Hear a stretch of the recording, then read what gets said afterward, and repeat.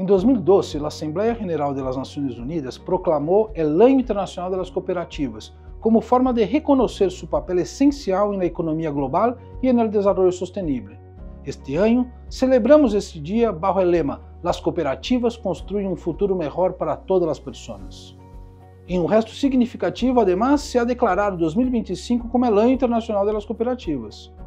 Segundo o informe SOF 2023, a subalimentação alcançou 6,5% em 2022, afetando a 7,2 milhões de pessoas em América Latina e um alarmante 16,3% no Caribe.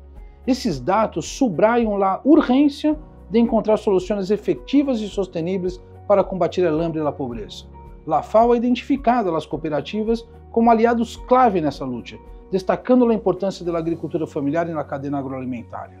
A Oficina Regional da FAO trabalha arduamente na renda cooperativa para transformar os sistemas agroalimentários.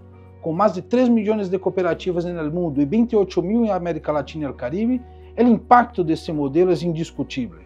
Essas cooperativas reúnem a 6 milhões de cooperados, potenciando o empreendimento, o empoderamento econômico e promovendo o desenvolvimento sustentável e inclusivo. A importância das cooperativas radica em sua capacidade para estimular a governança e o desenvolvimento territorial, sendo motores para a transformação dos sistemas agroalimentários.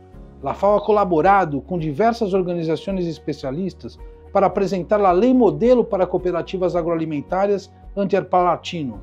Asimismo, com a Aliança Cooperativa Internacional, LACE, celebramos mais de 15 anos de trabalho conjunto fortalecendo o setor.